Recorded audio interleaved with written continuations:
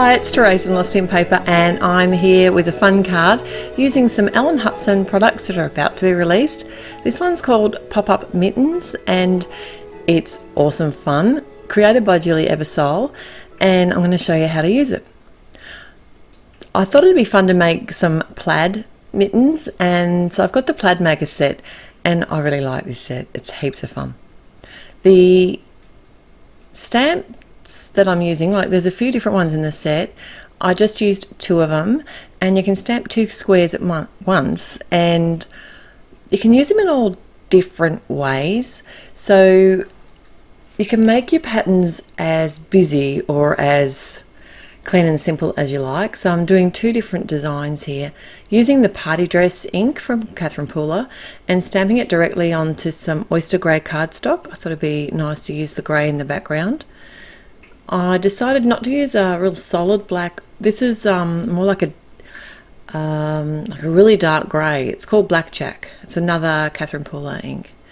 And on this other little piece that I did, I did actually add a couple of extra lines and made it uh, a little bit busier. Now I'm just going to run these dies the mitten dies through my die cutting machine and I actually get an extra mitten out of the panel that I stamped. So if you want to see another card using this same set head to my blog. The link will be in the description below and you can see what I did with the other mitten.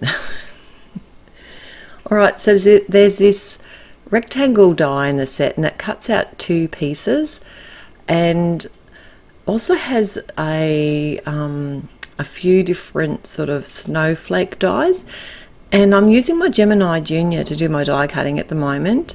And this is a really thick American cardstocks glitter cardstock. And it actually did cut through. I have had trouble cutting this kind of cardstock through my big shot. What I would have done was use the thinner one which I'll link in my blog. And that cuts really easily and then cut some um, normal cardstock and adhere them together but because I had the thicker stuff I thought I'd give it a try.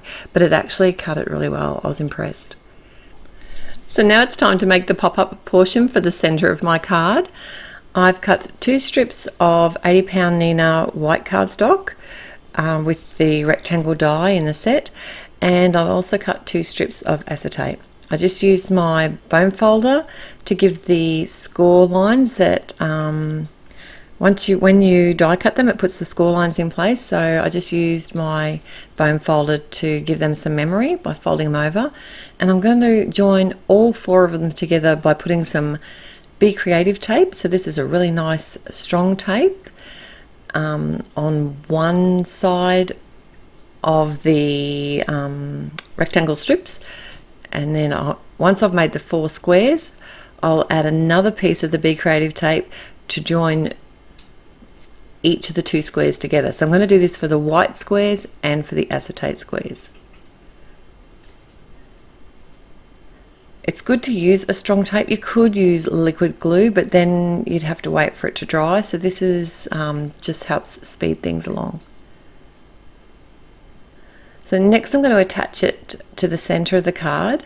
So just to help visually, I'll just hold it in place and fold the card over. And then I know exactly it just gives me an idea where I want to put it um, where I need to put the tape. So that means I'm going to put a piece on each side. And I'm using the Be Creative tape yet again here. I am trying to be careful not to let any of the tape hang over the edges because I don't want it to sort of adhere to the inside of the card or um because then it might stop it from opening. I don't think it's going to be too bad, but you could use probably a little bit less. I think I've gone a bit overboard. and then I can just add, um, attach some more tape.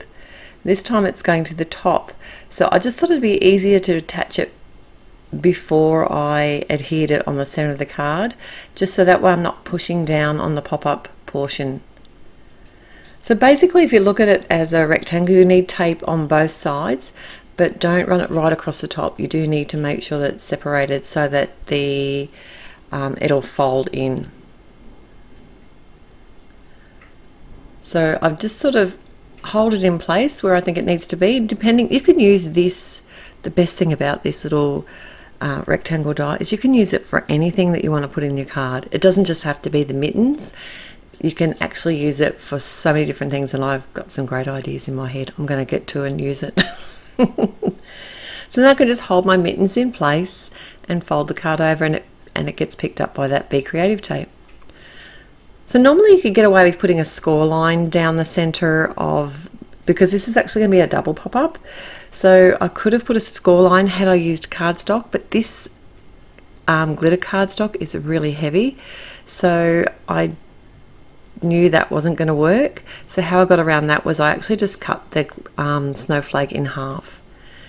And then I did the same thing again. I folded the card, attached my acetate um, pop-up portion onto the mittens and then I'm using some glue dots to actually adhere the each side of the snowflake in place.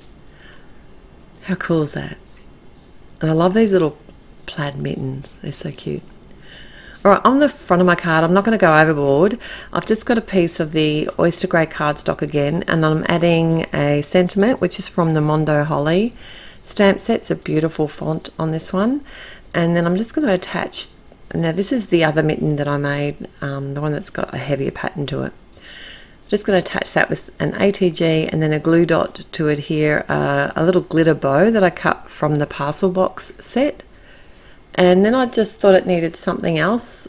So I've got um, just some fine frames. This is from Altenew now I will link everything at my blog.